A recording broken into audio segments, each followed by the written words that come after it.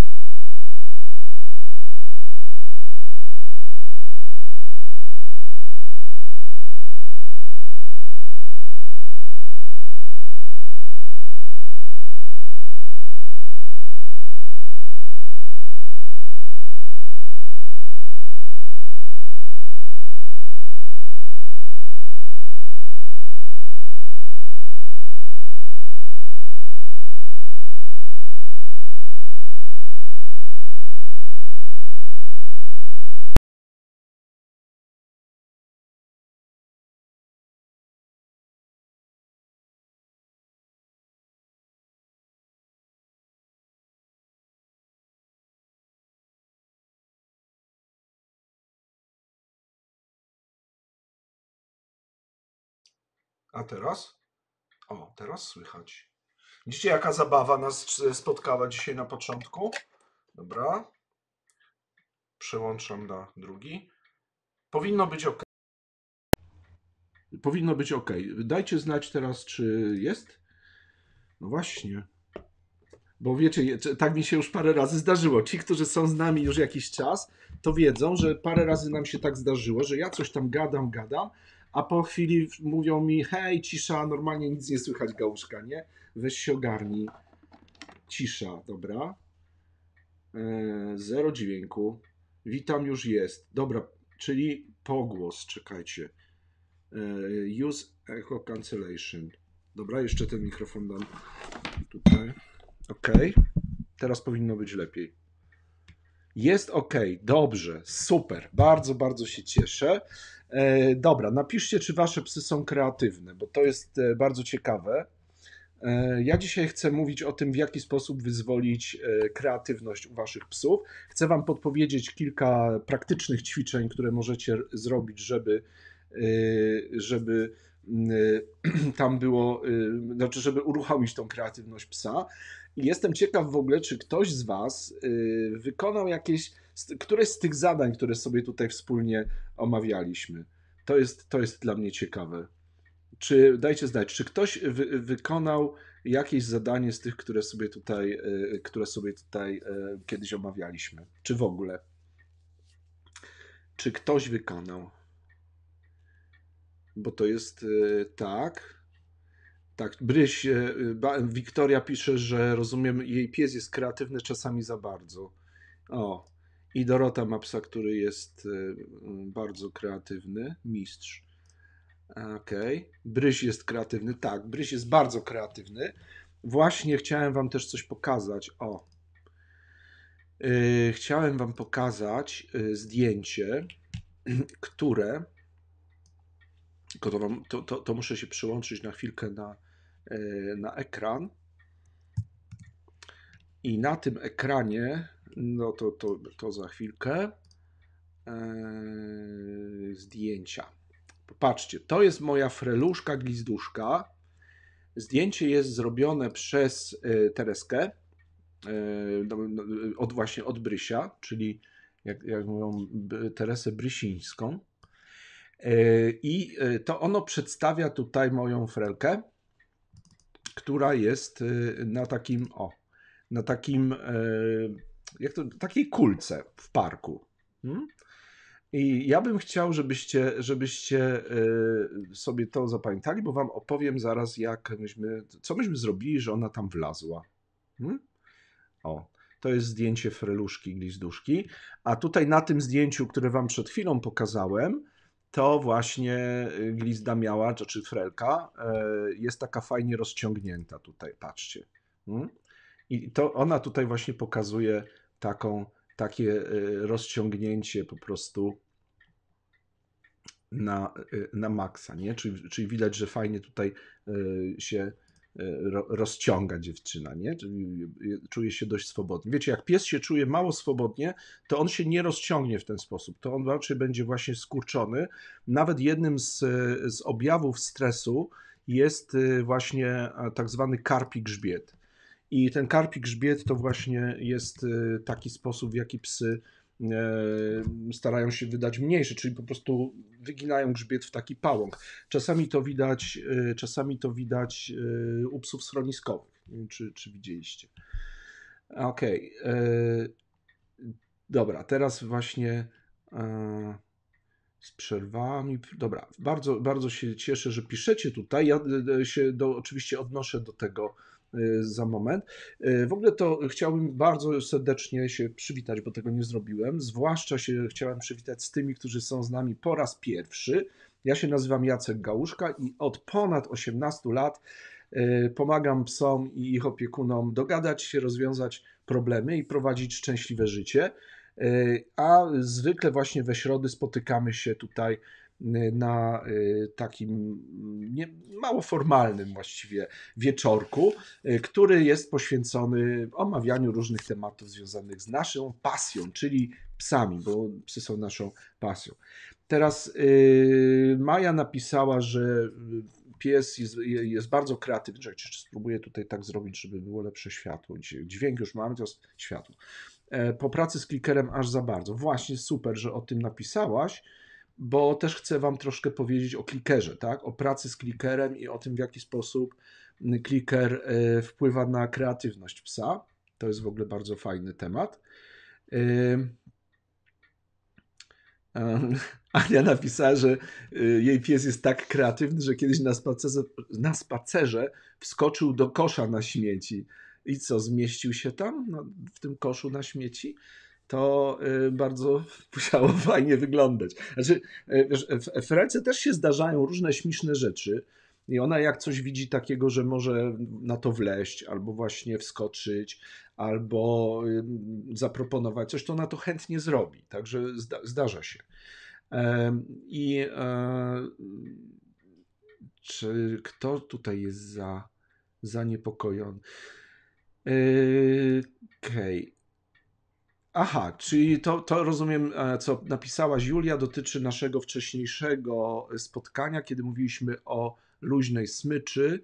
Ćwiczysz kilka miesięcy, e, codziennie wykonujesz ćwiczenie, dziś było genialnie. No bardzo się cieszę, gratuluję.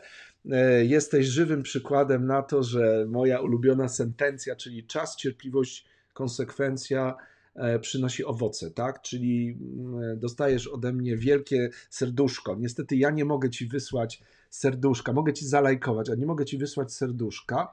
Ty możesz, ja nie mogę, ale y, wszyscy ci możemy wysłać serduszko chyba, Julce, że po prostu nie odpuszczasz, tylko działasz. Bo wiecie, ja się czasami spotykam z tym, że ludzie kurczę, ale ten twój pies to jest taki wyszkolony, nie, to jest jakaś tam magia.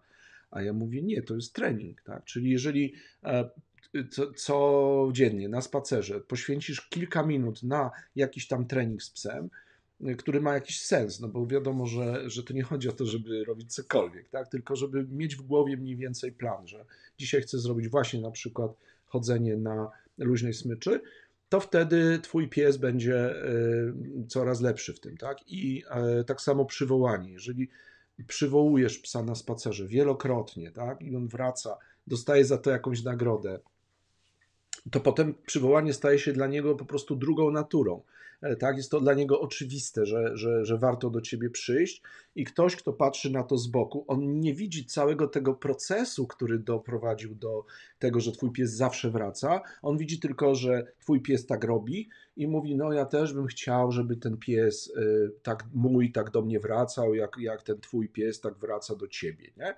No i, y, no i co mam powiedzieć? No to w takim razie ćwicz przywołanie. No jeżeli ktoś nie ma jeszcze przywołania awaryjnego, to zachęcam do pobrania go bezpłatnie jako prezent y, z naszego Messengera na fanpage'u Wesołej Łapki. Wystarczy sobie kliknąć rozpocznij i sprytny bot łapek wyśle Wam w prezencie przywołanie awaryjne ale trzeba to zrobić. Tak samo jak nie wystarczy się zapisać na siłownię, żeby zbudować mięśnie. Trzeba ćwiczyć, tak? E, wiem coś o tym, bo od, y, no, od świąt mój przyjaciel Piotr próbuje mnie przekonać do tego, że powinienem ćwiczyć. No i ja go przekonuję, że tak, oczywiście rozumiem to. Jeszcze się za to nie zabrałem, ale cały czas mam to w planach, nie? Więc to jest tak, że, że wiecie, my mamy często takie plany, ale ich nie realizujemy i myślimy, że to się samo zrobi. Dobra. Ale dość tego zrzędzenia, bo tutaj fajne, e, fajne rzeczy się pojawiają. O, że przywołanie wychodzi pięknie, brawo. Yy, I już. I to jest bardzo fajne. Mm, dobrze, teraz, y, teraz o tej kreatywności. Bruno jest bardzo kreatywny, pisze Ewelinka. Na zwykłym spacerze szuka sam sobie jakiejś pracy. Jak wychodzimy z auta albo ze sklepu, to czeka, żeby coś mu dać do niesienia, na przykład torbę z cytrynami. Dlaczego akurat z cytrynami? I niesie do samego domu. Uwielbia chodzić po murkach, skakać na ławki, robić sztuczki i tak dalej. Okej, okay. świetne wprowadzenie. E, ja chciałbym tak zadać pytanie, czy my chcemy, żeby nasz pies zawsze był tak kreatywny. Mhm. Więc e, chciałbym Wam powiedzieć coś takiego, że oczywiście kreatywność jest fantastyczną rzeczą i dobrze, że nasze psy e, oferują nam różne zachowania. E, I jeżeli to robią, to tylko świadczy o tym, że dobrze się czują po prostu w naszym towarzystwie, wiedzą, że mogą coś zaoferować. E, natomiast nie zawsze jest to e, dla nas pożądane i wskazane, więc są, takie psy, które nie, nie, nie, powinny być zawsze e, kreatywne, bo na przykład na zawodach, jeżeli ktoś przygotowuje psa do zawodów, chociażby obedience, to tam regulamin jest bardzo ścisły. Tak? Jeżeli pies ma iść przy nodze, to on ma iść przy nodze, a nie kreatywnie wymyślić, że teraz sobie zrobi slalom. Tak? Jeżeli wystawiacie psa, no to pies na wystawie ma stać, a nie wymyślić sobie, że teraz będzie y, siadał w pozycji, wiecie, takiej z łapkami do góry, albo będzie y, się turlał, tak? Bo y, nie, nie tego oczekujemy. Więc bardzo ważną rzeczą jest to, żeby powiedzieć psu, kiedy chcemy, żeby był kreatywny, a kiedy chcemy, żeby nie był kreatywny, tylko robił dokładnie to, o co go prosimy. I tutaj pojawia się to, o czym właśnie napisałaś Ewelinka, że twój pies jest bardzo kreatywny, ja jeszcze raz to wyświetlę, jak y, wychodzisz, znaczy sam sobie szuka jakiejś pracy. I teraz wyobraź sobie na przykład, że twój pies jest przewodnikiem osoby niewidomej, i kreatywnie wymyśla, że właściwie to dlaczego on ma iść e, na czerwonym, znaczy na zielonym świetle, jak może przejść na czerwonym. To, to jest coś nowego, czego jeszcze nie robił. Albo dlaczego ma prowadzić tego niewidomego po e, ulicy, jak może go prowadzić po trawniku, nieważne, że tam z błoto na przykład. E, więc takie, taka kreatywność byłaby trochę niebezpieczna. Kiedy pies, kiedy pies uczy się właśnie takiego kombinowania, tak? Y, on się uczy wtedy, kiedy zwracamy uwagę na coś, co on właśnie zaproponował. I to jest generalna zasada. Jeżeli twój pies na przykład weźmie y, sobie, znaczy tak, nudzi się, tak? Wymyśli coś, weźmie do pyska zabawkę, przyniesie ci, y, położy na kolanach. Ty weźmiesz tę zabawkę i ją rzucisz, to pies już wie, ok, to działa, tak? Następnym razem, kiedy będzie chciał zwrócić Twoją uwagę, to weźmie tę zabawkę. E, pies ma również możliwość e, zwrócić Twoją uwagę w inny sposób. Na przykład szczeniaki są genialne w tym, bo jak się długo nudzą, to wyjdą na środek pokoju, zrobią siku. Albo dwójkę tak zwaną, tak? I wtedy odrywasz się natychmiast od wszystkiego i zaczynasz po prostu e, zajmować się tym, co zrobił właśnie szczeniak. E, są takie psy, które celowo, e, zwłaszcza to widać fajnie w czasie spaceru, jeżeli próbujesz porozmawiać przez telefon, to zrobią wszystko, żeby ta rozmowa była niemożliwa albo bardzo trudna. Tak? Czyli zaczną coś wąchać, kopać, e, brać coś do pyska, wyszczerzać się na innego psa. Więc to, to będzie ich taki sposób na zwrócenie Twojej uwagi i najczęściej, ponieważ się to udaje, no to pies to bardzo chętnie powtarza, zgodnie z zasadą, że zachowanie nagrodzone będzie powtórzone.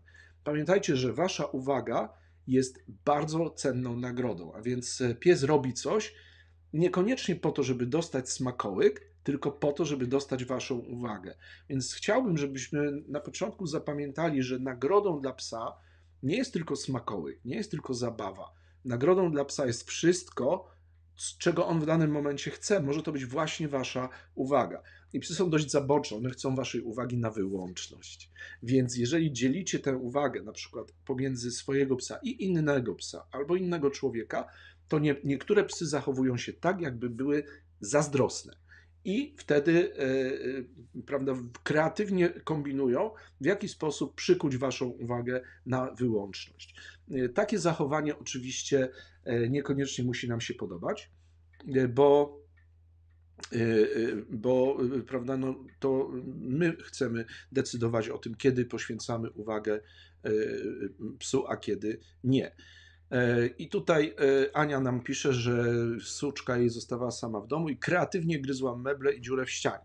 Więc e, uwaga, to może być tak, że po prostu pies przeżywa problemy separacyjne, czyli niekoniecznie jest to kreatywność, ale może to być sposób na mm, zredukowanie stresu wynikającego z separacji, czyli zostawia, zostanie, zostawania, zostanięcia Dobra, z tego, że pies zostaje sam.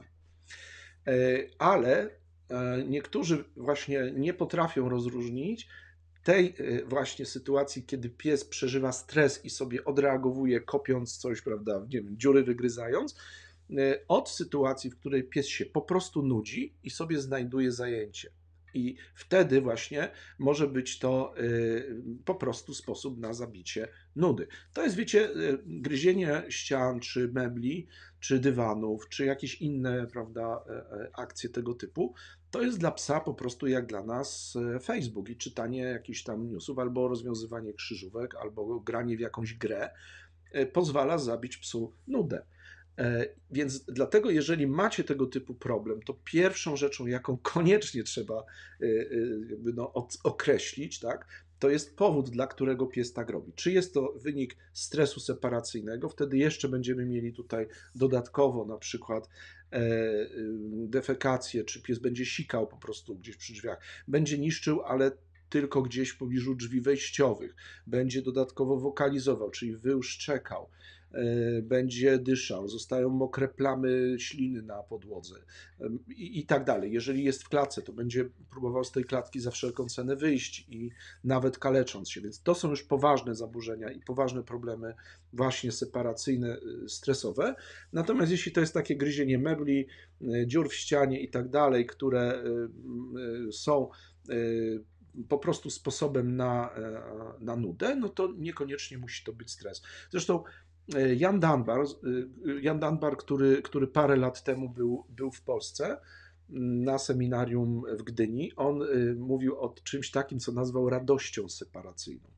I radość separacyjna polega na tym, że on mówi, to jest tak, jak żona nie pozwala mężowi palić w domu. Hmm? I żona wychodzi za próg, tak?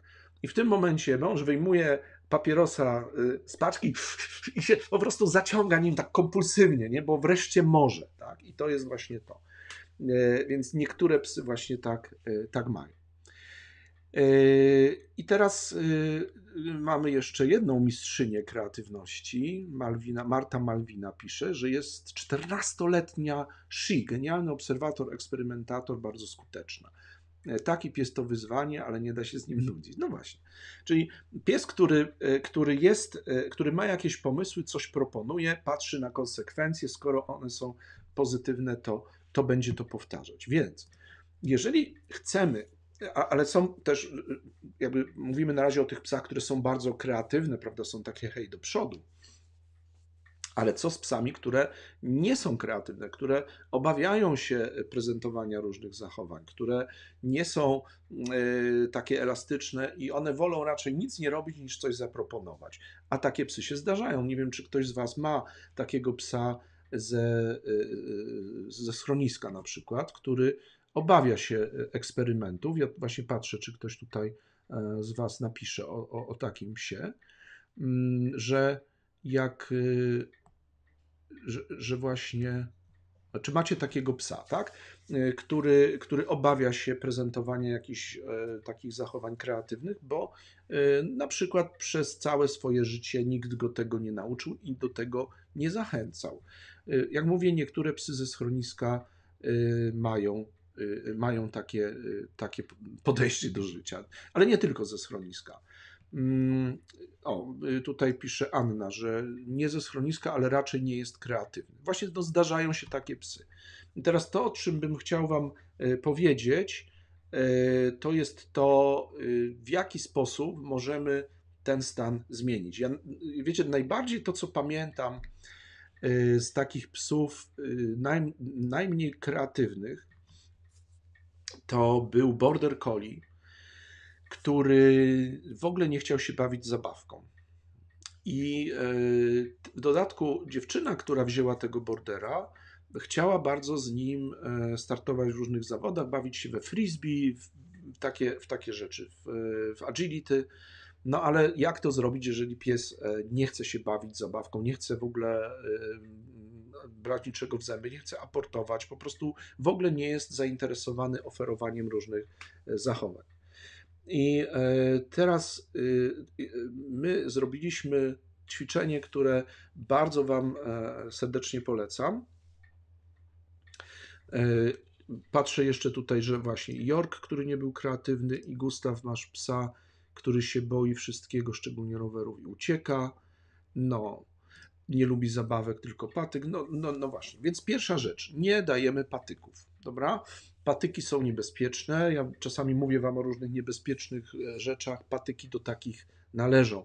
Dlaczego? Dlatego, y, dlatego że y, patyki, zwłaszcza drzew y, iglastych, łamią się na ostre drzazgi. I widziałem sytuację, kiedy psu się taka drzazga wbijała. Tak samo e, podczas biegu, na przykład pies bierze do pyska, patyk biegnie, nie daj Boże, gdzieś się tam a, o coś e, uderzy i ten patyk wbija się e, po prostu w gardło, tak? Albo, e, albo w ścianę, w ścianę gardła. Także to, to może być bardzo niebezpieczne. Więc patyków nie używamy. Y, I uwierzcie mi, patyki są dlatego dla psa tak atrakcyjne, że najczęściej nauczył się, że, że to służy do zabawy, że patyki służą do zabawy. Nie? One są w dodatku fajne, no bo tam się coś od nich odłamuje. I ja przyznaję, że ja na przykład w Frelce pozwalam nieść patyk w pysku, ale nie pozwalam go obgryzać. No, chyba, że to jest drzewo liściaste, które y, nie, nie, nie łamie się na drzazgi, ale iglastych w żadnym wypadku, czyli wszystkich takich, wiecie, sosen, jakichś tam świerków, choinek, nie. I teraz y, y, wracam do tego bordera, który się nie chciał bawić. No tutaj Aleksandra nie wierzysz. No naprawdę tak było. Czekaj, niech ja to tylko sprawdzę, czy. Yy... Patrzę, wiecie co? Czy mi się uda znaleźć tą dziewczynę? Jak mi się uda, to może mi się, może właśnie. Mhm. No, zobaczmy, czy to się uda. Bo e, powiem Wam tak. Okej. E, Dlaczego, dlaczego przywołuję tego koli? Bo ja chcę Wam opowiedzieć, jak, e, jak zrobić, żeby właśnie się ten, e, ten e, pies nauczył. Mhm. Okej.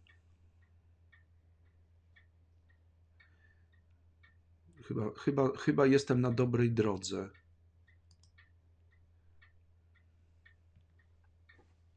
Mhm. Co nie wiem, czy to jest akurat ten pies, ale i tak wam go pokażę.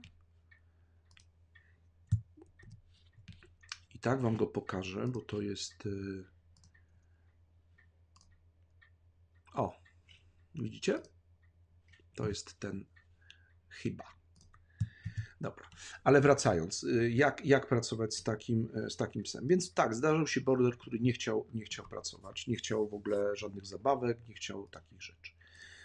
I pierwsza rzecz jest taka: większość normalnych ludzi próbuje przekonać psa do zabawy w ten sposób, że wciska do pyska na siłę jakąś zabawkę, czyli, czyli bierze tą zabawkę i próbuje psu wcisnąć do pyska. Otóż y, to się z reguły nie udaje. E, ponieważ pies się będzie odruchowo cofał i taka zabawka jest po prostu strasznie nudna. Tak? tak on się nie nauczy e, w ogóle zabawy i nie będzie chciał e, kreatywnie rozwiązywać problemów. Tak? Mm, następ... Więc jeżeli nie tak, to jak? I pomysł na to jest taki, że musicie mieć asystenta albo asystentkę, płeć nie ma znaczenia, ma znaczenie zachowanie tej osoby. Otóż chodzi o to, żeby przywiązać psa w taki sposób, aby on nie mógł do Was podejść. E, najlepiej zrobić to na spacerze, e, ale możecie też zrobić to w domu. Nie wiem, przywiązać psa do klamki z drugiej strony drzwi i zacząć się bawić tą zabawką, nie widząc w ogóle psa. Czyli nie zwracacie uwagi na psa. To jest bardzo ważne, bo jeżeli będziecie ogrywać tego psa, tak, i pokazywać mu, popatrz, co ja tu mam, popatrz, to pies może powiedzieć, ja tam wiem, co tu masz. Ale jeżeli zaczniecie bawić się z drugą osobą i będzie to taka fajna zabawa na zasadzie wow, ale ekstra i rzucacie sobie tą zabawkę, to warunek, nie patrzycie na psa, dobra? W ogóle. Nie interes... W ogóle tak jakby go tam nie było. To pies oczywiście będzie się przyglądał temu, co robicie, ale nie będzie mógł brać w tym udziału. I jak zobaczy, że wy się ekscytujecie, tylko naprawdę to musi być ekscytacja, nie może być takie, wiesz, rzucanie, łapanie na zasadzie sztywnego śledzia. Mm, co ja gadam? Wiecie, no, no takiego zdechłego czegoś. To musi być atrakcyjne, to musi być fascynujące, musi być żwawe, tak? Czyli rzucacie sobie i jak, jak złapiecie, to wtedy jest ale super i odrzucacie do tej drugiej osoby. Może być po ziemi, może być w powietrzu, po czym kończycie tą zabawę, chowacie zabawkę, bardzo ważne, chowacie tą zabawkę do szuflady, odpinacie psa i w ogóle się nim nie zajmujecie. Ok? W ten, e, spo, w ten sposób y, zaczynacie to ćwiczenie. Czyli niech to będzie zabawa w sztywnego śledzia. Się tutaj Konrad śmieje. No. Okej, okay, zabawa w sztywnego śledzia. Od dzisiaj tak to się nazywa.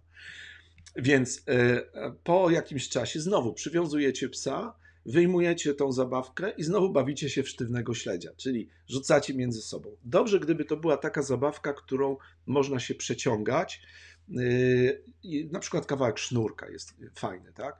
E, albo jakiś szarpak, tak żeby łatwo było go złapać, łatwo było go odrzucić. I w ten sposób bawicie się i po prostu pies dalej nie ma do tego dostępu. I zobaczycie, że po kilku razach, niekiedy już po jednym, jednym takim ćwiczeniu, pies zacznie się interesować tym, co wy robicie. E, Magdalena tutaj nam pisze, że myśmy Mary nauczyli bawić się tym, że sami bawiliśmy się tymi zabawkami, przerzucaliśmy się i zabawka uciekała. Myśmy się cieszyli, ona poczuła, że może dołączyć. Ona chciała się bawić, tylko nie wiedziała, czy może. No właśnie o tym mówię. Super, bardzo fajna, e, faj, fajny sposób. Właśnie tak to się robi. Ja Wam to e, pokazuję, pokazuję jakby w etapach, jak to zrobić. I jak zaczniecie się bawić w ten sposób, pies w którymś momencie zobaczy, coś musi być intrygującego w tym, że będzie chciał się do, do tej zabawy w sztywnego śledzia dołączyć.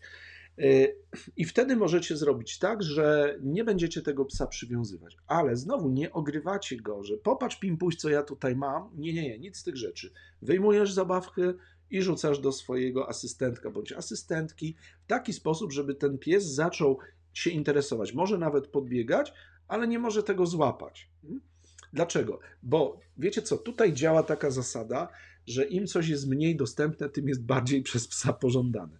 Z ludźmi też tak jest.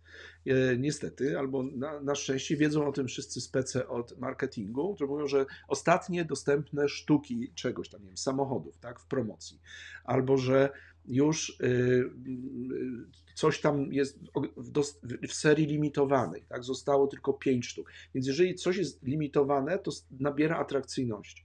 dla psa też. Jeżeli ta zabawa, ta zabawka nie jest w ogóle tak odostępna, to ona nabiera atrakcyjności. Pies zaczyna ją traktować jako, jako coś takiego naprawdę wartościowego, yy, co, na czym mu zaczyna zależeć. Więc wtedy podkręcamy trochę atmosferę i znowu pozwalamy mu gonić za zabawką, ale nie pozwalamy mu tej zabawki złapać. A jak złapie, bo jesteśmy gapy, no to nic. To po prostu nic. Zabieramy zabawkę i już.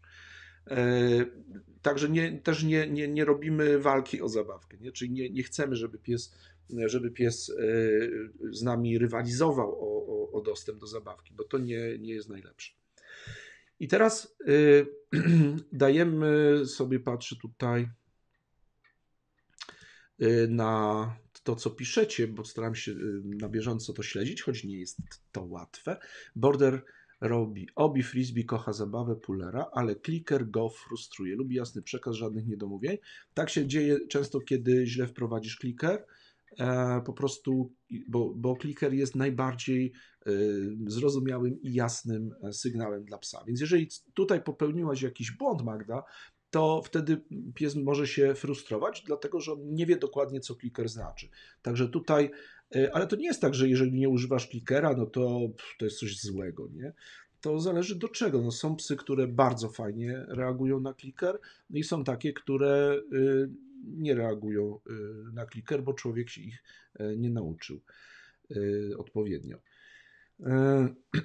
Dobra, i teraz tak. Y, więc to, to jest pierwszy etap zabawy, czyli pies zaczyna się angażować w coś, co wy zaczynacie proponować. I to jest strasznie ważne w zabawie, że to wy proponujecie coś, w co pies może się zaangażować. I tutaj chcę wam powiedzieć o następnej ważnej rzeczy, która jest e, rozbiciem pewnego mitu. Otóż w środowisku szkoleniowym funkcjonuje takie przekonanie, że to człowiek zawsze powinien zabawę zainicjować, kontrolować i zakończyć ją. Czyli inaczej mówiąc, człowiek zawsze powinien w zabawie wygrywać. Czy ktoś z Was się spotkał z takim stwierdzeniem? Że, e, że pies e, nie może zawsze, pies nie może w zabawie wygrywać, że człowiek zawsze w zabawie musi wygrać. Ja się spotkałem z takim e, stwierdzeniem i powiem Wam, że nawet przez pewien czas myślałem, że to prawda. E, natomiast chciałbym po, wiecie, tych latach, kiedy zajmuję się szkoleniem, wychowywaniem psów i, i, i terapią e, zachowań, to chciałbym powiedzieć, że to jest jedna z, z największych bzdur, jakie, jakie możecie usłyszeć. Porównajmy to do sytuacji, w której chcesz nauczyć małego chłopczyka boksu. Mhm. E, chłopczyk ma 5 lat, e, zakłada rękawice bokserskie e, i teraz, że ty chcesz go, go nauczyć, czyli boksujesz się z nim i jesteś na tyle silny, że za każdym razem jesteś w stanie go znokautować. Czyli po prostu cios w szczękę, pach, leży, nie? I tak za każdym razem, za każdym razem wygrywasz. Może, żeby nie było tak brutalnie, no to powiedzmy, no, chcesz nauczyć e, kogoś grać w szachy, albo warcaby, albo w cokolwiek, tak? I jesteś, i masz przewagę, no bo jesteś dorosłym człowiekiem, więc wiadomo, że taki dzieciak nie będzie e, w stanie ciebie e, pokonać. Ty za każdym razem wygrywasz, tak?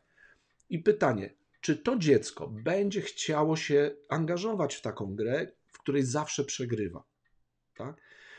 Absolutnie e, nie. Tak? E, czyli takie podejście, że my zawsze musimy z psem wygrywać, jest po prostu absurdalne, dlatego że nasz pies, jeżeli my zawsze z nim wygrywamy, to on nie będzie chciał zaangażować się w tą zabawę, bo ona nie jest fajna. Jeśli nie można wygrać, to po co to robić? Popatrzcie. No i, i co my tym naszym psom robimy, nie? Y, zabieramy im zabawkę. Czyli popatrzcie, niektórzy robią jeszcze inaczej Czyli na przykład mówią do psa komendę puść, pies puszcza, a oni e, w tym momencie chowają zabawkę.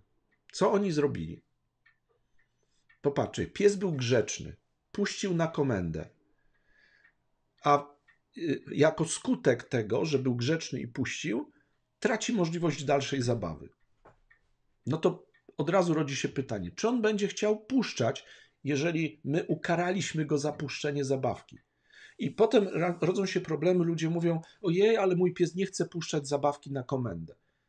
No, jeżeli mówisz puść i chowasz zabawkę, to jemu się nie opłaca puszczać tej zabawki, bo wie, że potem nic fajnego się już nie zdarzy. Tak samo robią ludzie, że e, na przykład psa mm, wołają do siebie, zapinają na smycz i zabierają do domu za każdym razem. Nie? I pies wie, że jak właściciel go woła, to oznacza zapięcie na smycz i koniec spaceru. I on nie będzie chciał przychodzić. Więc tak samo jak tutaj przy przywoływaniu psa, e, najlepszym sposobem jest e, zasada PIP, o której piszę w mojej książce. Tutaj jest, tu, tu, tu jest.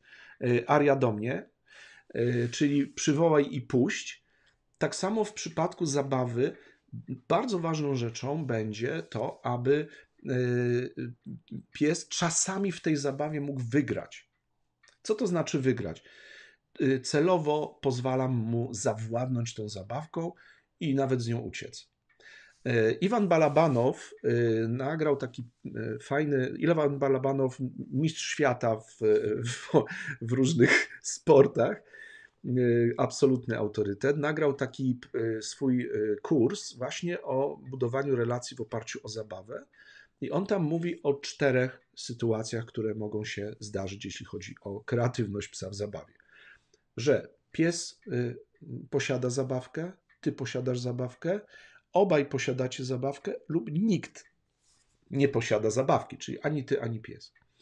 I e, każda z tych sytuacji ma swoje miejsce właśnie w budowaniu relacji, w budowaniu kreatywności. Jeżeli chcesz zaangażować psa w coś, co proponujesz, pozwól mu czasami wygrać w zabawie. Hmm? Y, to nie znaczy, że za każdym razem ma ci wyrwać, tak? bo moja norka, pisze Aleksandra, potrafi wyrwać zabawkę z ręki, nie muszę się starać dać jej wygrać. E, okej, okay, tylko że znowu nie, nie chcemy stworzyć psa, który jest absolutnie przekonany, że zawsze z tobą wygra. Nie, nie, nie. nie. E, słuchajcie, zawsze najlepszy jest umiar. Nie możecie wpadać w skrajności, czyli że nigdy albo zawsze, bo są tacy ludzie, którzy na przykład rzucają psu piłkę, i tak długo, jak długo pies chce ją aportować, to ludzie mu rzucają. Jak pies już porzuca tą piłkę, czyli ją zostawia, to oni idą i grzecznie ją chowają, bo pies skończył zabawę. No to nie, to, to nie jest też dobre. Czyli my y, y, mówimy o tym, żeby czasami dać psu wygrać, ale nie zawsze dawać psu wygrywać. Tak samo nieprawdą jest, że należy zawsze y, w tej zabawie mieć przewagę i wygrywać, po to, żeby pies chciał się angażować. Więc jeżeli zbudujemy w ten sposób zabawę, pies będzie y, tak, tak, y, czasami, czasami. Więc jeżeli macie psa właśnie nieśmiałego, to można mu pozwolić wygrywać, tak?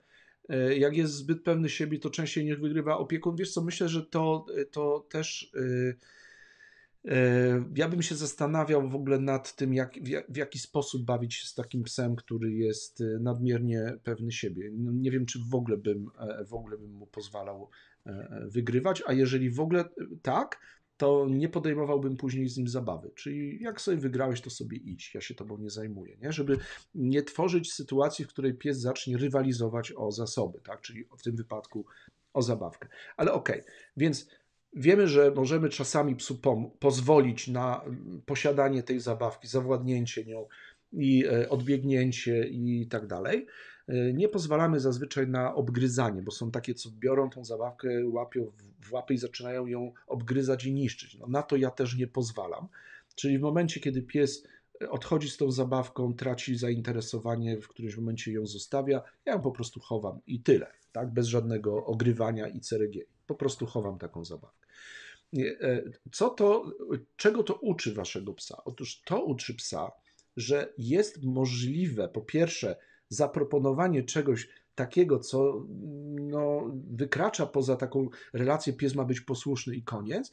Po drugie, daje psu frajdę z życia, która staje się takim paliwem do proponowania różnych innych zachowań, na przykład po to, żeby y, y, mógł dostać swoją ulubioną zabawkę. I wiecie co, jeszcze pomyślałem sobie, że wam pokażę coś, czyli wam pokażę e, kawałek e, kursu e, Pies Twój Przyjaciel. To jest kurs, który ja no już jakiś czas temu nagrałem. I w tym kursie e, i w tym kursie ja pokazuję krok po kroku samodzielne e, szkolenie psa, e, jak ono właśnie wygląda. I tutaj Wam pokażę kawałek tego, e, tej, tej nauki zabawy, zabawką, o której, o której mówiłem. Popatrzcie, tutaj mamy naszą irduszkę kochaną. Nie wiem, czy coś w ogóle chyba nie słychać. Mhm. Czy ja pokazuję, dobra, pokazuję tutaj, że mm, bawimy się zabawką. A okej, okay. już wiem dlaczego. tak jak to już robiliśmy, ale dodajemy polecenie trzymaj, które będzie oznaczało dla psa, możesz bawić się tą zabawką, którą ci oferuję. Mhm. W trakcie, kiedy pies się bawi, zabawka ucieka od psa. Tę komendę trzymaj możemy powtarzać wielokrotnie. To jest jedyna komenda, którą możemy powtarzać wielokrotnie. W pewnym momencie starajmy się na początku nie za bardzo rozbawiać psa. Unieruchomimy zabawkę. Najlepiej zrobić to na kolanie, tak żeby przestała się zabawka poruszać i mówimy puść albo daj. Lepiej puść. Spokojnym głosem. Czekamy na moment, w którym pies puści zabawkę, a nagrodą za puszczenie jest natychmiastowa możliwość zabawy z komendą trzymaj. Gdyby tak się zdarzyło, że pies nie będzie chciał oddać zabawki trzymanej w zębach, sięgamy do saszetki, bierzemy smakołyk, mówiąc puść. Pies puszcza zabawkę, tym momencie dostaje smakołyk na wymianę. Stopniowo będziemy robili tak, że nawet jeżeli będziemy musieli użyć smakołyka, to pies nie dostanie go po komendzie puść, tylko wycofamy smakołyk i umożliwimy psu zabawę z komendą trzymaj.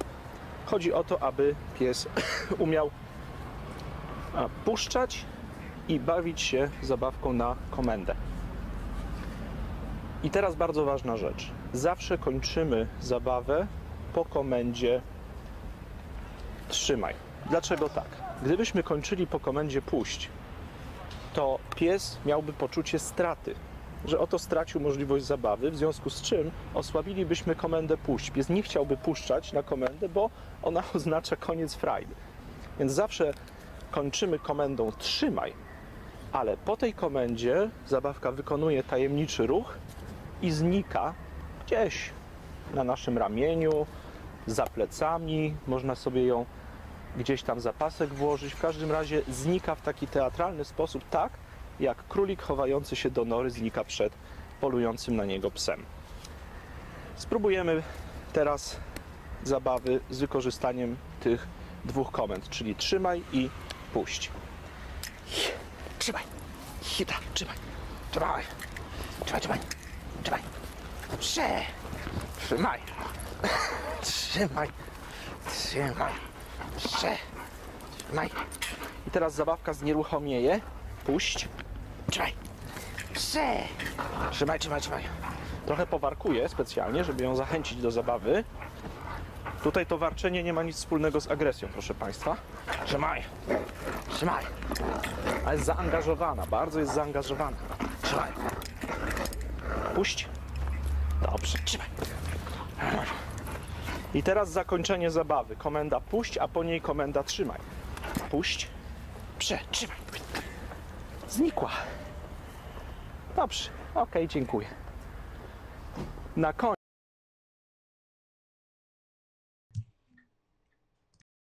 No i co, podobała się Wam e, zabawa zabawką z Irdą? Właśnie to jest, to jest e, moja Irduszka, która niestety już opuściła nas na zawsze, niestety 8 kwietnia. Niektórzy znają ją e, z kursu trenerskiego, nie?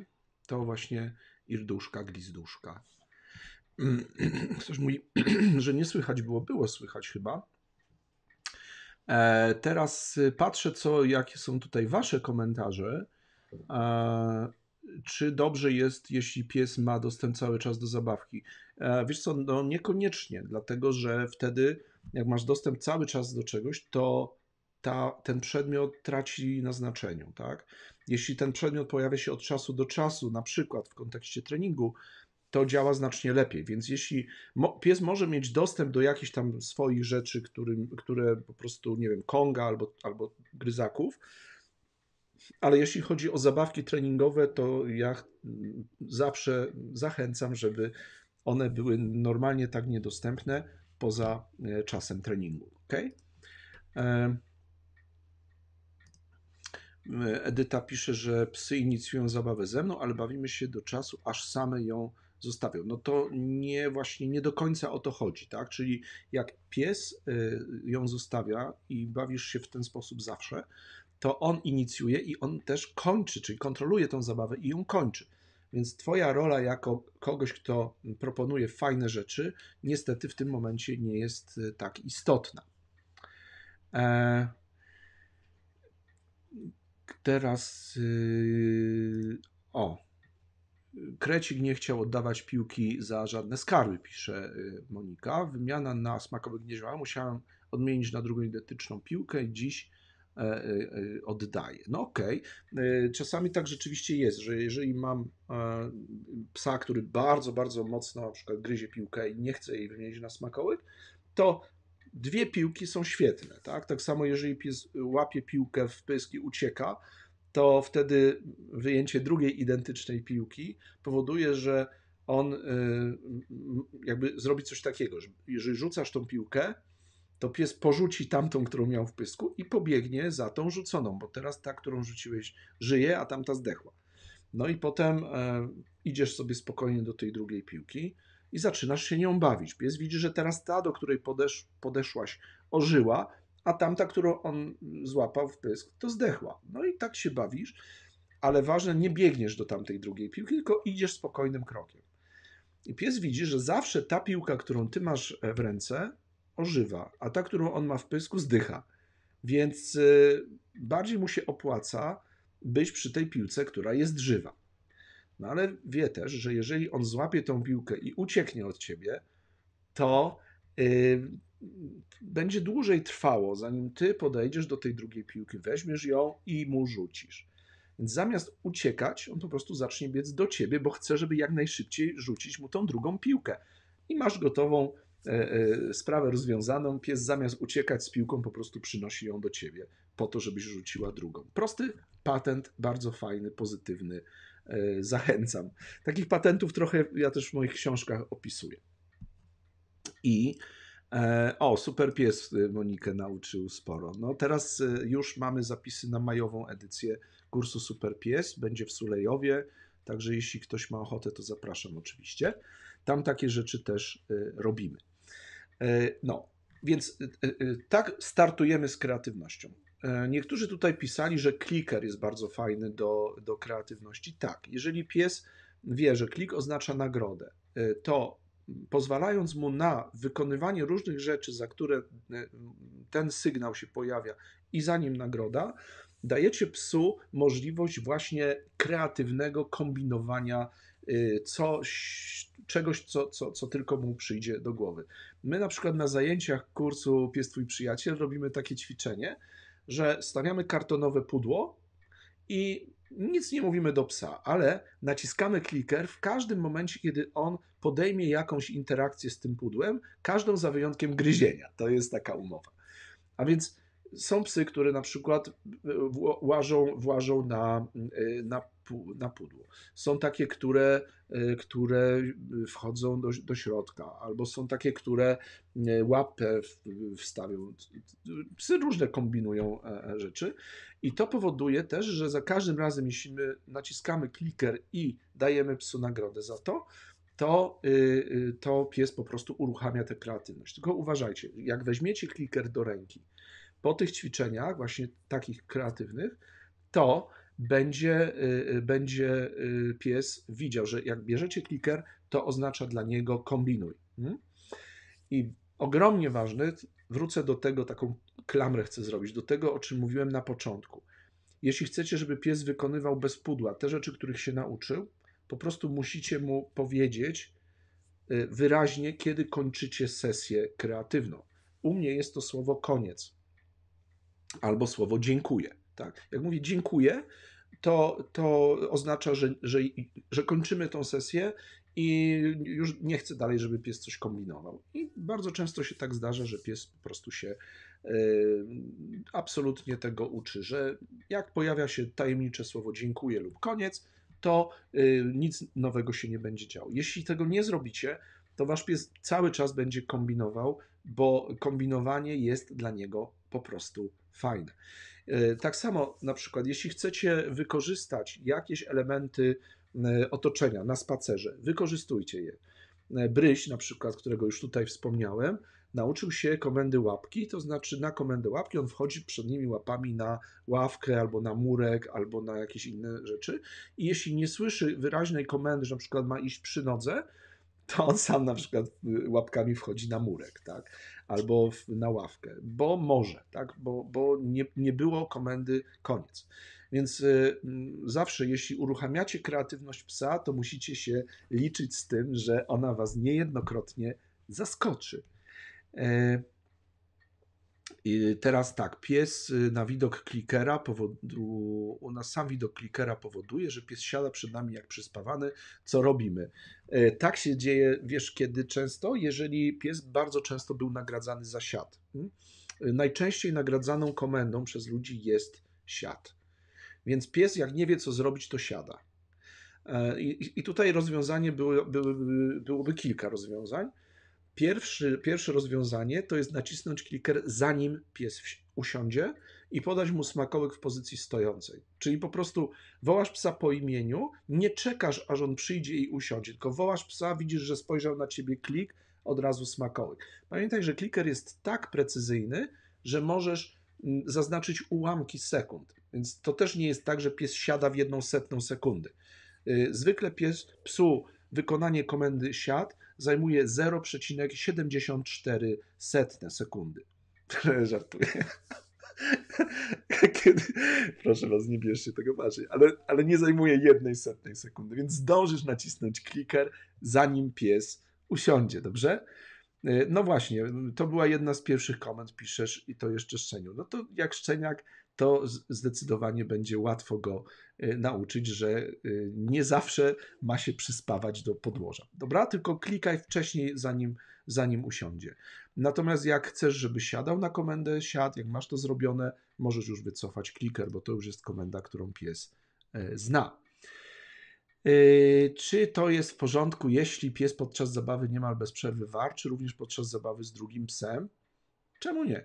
E, Jeśli to nie jest, e, nie jest e, tak, że on warczy i gryzie, to, to warczenie podczas zabawy oznacza zaangażowanie we wspólne rozszarpywanie zwierzyny. Co my tutaj mamy? Jak, y, zależy jaki pies, próbowałam tuż zanim usiadła Wena, potem robiła mi półsiad. No właśnie. Więc słuchajcie, y, to, to też oznacza, że nasze psy są kreatywne, czyli y, my też musimy być czasami bardziej kreatywni niż nasze psy. Bo jeśli e, pies robi półsiad, no to, no to mm, oznacza, że gdzieś my możemy e, e, tutaj wymyślić coś innego, żeby tego nie robiła. Więc ja, ja też tak zrobiłem, przyznam się, z Frelką, że mówiłem jej na przykład komendę waruj i ona robiła to waruj tak troszkę, bo czekała na przykład na wyrzucenie piłki. Nie? Czyli ona tak warowała tak 5 cm nad ziemią, więc ja dodawałem wtedy komendę całkiem. Czyli ona się nauczyła warować na komendę całkiem, żeby było waruj całkiem. Nie? Jak całkiem, no to wtedy się kładła całkiem. No jak z tego wybrnąłem? W ten sposób wybrnąłem, że y, mówiłem po prostu waruj i czekałem. Dopiero w momencie, kiedy ona całkiem zawarowała, już bez tego dodatkowego słowa całkiem, wtedy był klik i piłka. I ona e, e, nauczyła się, że jeżeli pada komenda waruj, to tak długo, jak długo nie zrobi tego waruj do końca, nie pojawi się klik nagroda. A więc co zrobić, żeby był klik nagroda? Trzeba po prostu zawarować. Tutaj ogromnie ważne jest to, żebyście byli cierpliwi w takim, w takim ćwiczeniu. Czy jeśli pies zna komendy, to nie trzeba już tego nagradzać? Oczywiście, że y, trzeba, ale y, niekoniecznie każde wykonanie komendy. I o tym ja też mówię w moim kursie Pies Twój Przyjaciel, tym PTP. Tam jest ponad 200 minut nagrań, słuchajcie, których możecie właśnie nauczyć się po pierwsze, jak te zachowania wprowadzać, ale też jak wychodzić z, z takiego stałego schematu nagradzania. I e, tutaj chciałem Wam jeszcze właśnie pokazać e, króciutko.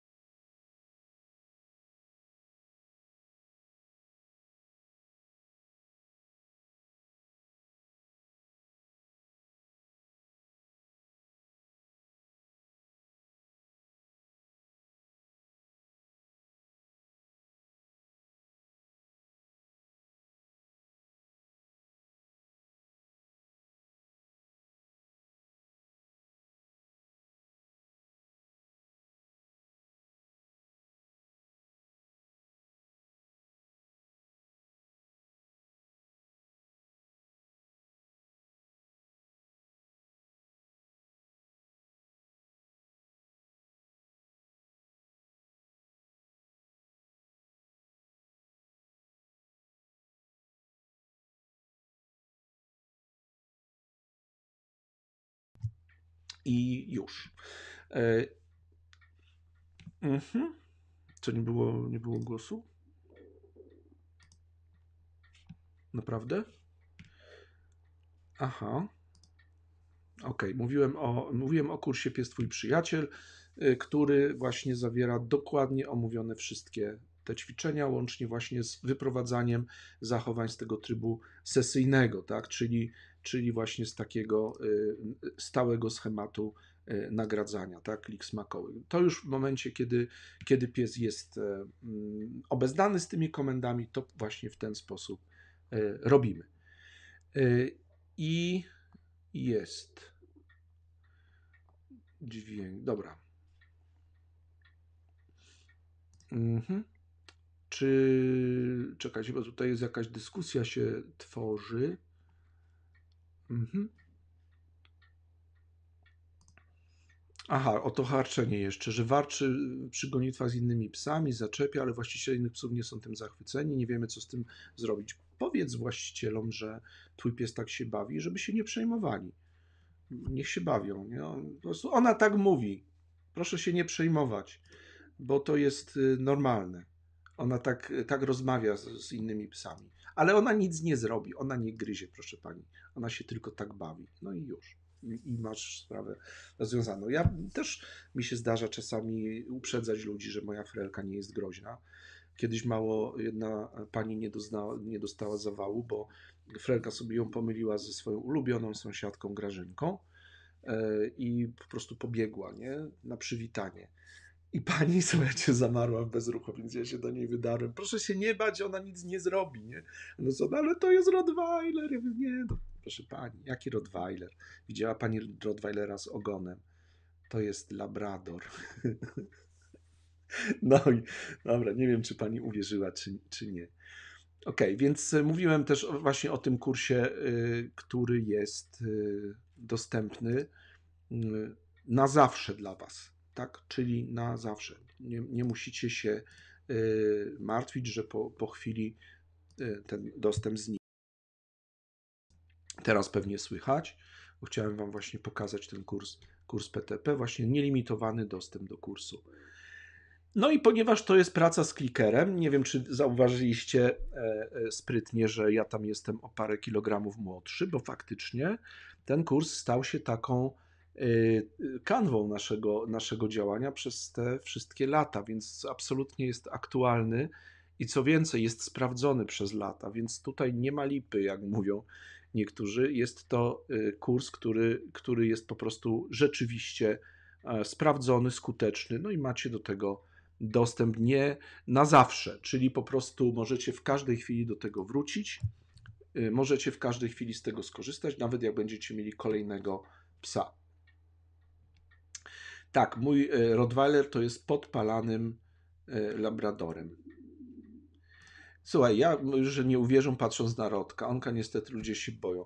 A wiesz co, y, ja byłem z Frelką kiedyś u fryzjera i była tam jakaś klientka, która się trochę bała. Mm, Ale Frelka poszła do niej się pomijać, pani ją tak właśnie pogłaskała, wszystko było cudownie. A potem e, e, pani pyta, jaka to rasa. Ja mówię, Labrador, proszę pani. A no, taki ciekawy ten Labrador. Ja mówię, no tak, bo mamusia była biszkoptowa, tatuś był czarny i takie wyszło. O, no mówi, labradory to są takie słodkie psy rodzinne, one są takie łagodne, one są takie grzeczne, naprawdę, to rzeczywiście kochane psy, nie? No i już. I e, jakbym powiedział Rottweiler, to by była o, Rottweiler, nie? Ja powiedziałem Labrador i pani miała już gotową, gotową historię o Labradorach w głowie, widzicie? Także słuchajcie, jak macie takiego psa, który się bawi, harczy, y, warczy, to po prostu e, e, trzeba, trzeba uprzedzić, że wasz pies tak gada. I już. Okej. E, Dobrze, kochani, jeżeli. e, Dobra, Iza tutaj napisała, że ma jakiś kłopot z przedszkolem. Do- Iza, jeżeli pojawia się jakiś kłopot, napisz proszę na biuro małpawesołałapka.pl. Z całą pewnością ci pomożemy. Jeżeli cokolwiek coś nie działa, coś tam e, nie funkcjonuje, piszcie, piszcie śmiało. Dobra, kochani, e, życzę Wam w takim razie uruchomienia kreatywności psów. Jeżeli macie psa, który nie jest kreatywny, zacznijcie od zabawy. Powiedziałem Wam, jak to zrobić dokładnie. E, Możecie też uruchomić kliker, żeby pies zaczął oferować różne zachowania, wprowadzić komendę kończącą, taką jak koniec lub dziękuję, dzięki czemu będziecie mieli kreatywność psa pod kontrolą. Myślę, że to e, tak na początek da Wam dużo, dużo inspiracji, Wam i Waszym psom. E, Ja Was bardzo serdecznie, e, Wam bardzo serdecznie dziękuję. Pozdrawiam Was, e, życzę miłego wieczoru i do usłyszenia za tydzień. Pa, pa, trzymajcie się.